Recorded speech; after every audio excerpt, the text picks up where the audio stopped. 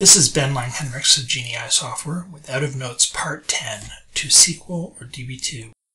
We have customers who want to take data and use it in a relational database such as SQL Server or DB2. I'm going to show you how you can do that now with Midas, our new roadmap. This is the mini minilessons.info site, and it runs off a database.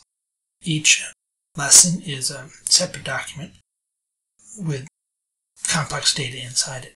So if we go into the export to CSV, create a export directive, all we have to do is pick the database.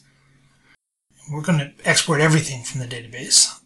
So we'll go to the ccolon slash export directory, use all the forms and all the fields. We'll save it, and then we can run the agent. You don't need a developer for this. There's the export directory.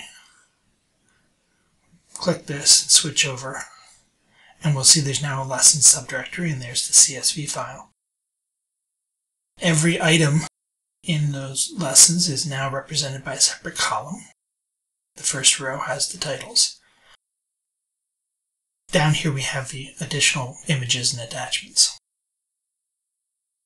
Similarly, we can take the Lotusphere Sessions database from a couple years back in this case, we, we don't want everything. We don't want all those people and things like that. We just want the sessions and we just want some of the fields. So we're going to create a new directive, pick the uh, sessions database. This time we're going to select the journal entry form, which is what stores the session, and then we'll just put a few of the fields in.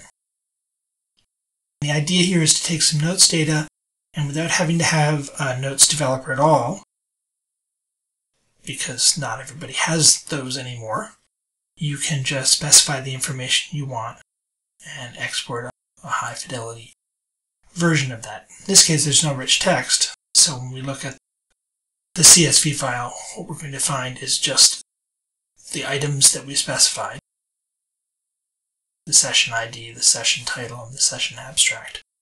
We can pull that into DB2 or SQL Server and use that as we need it.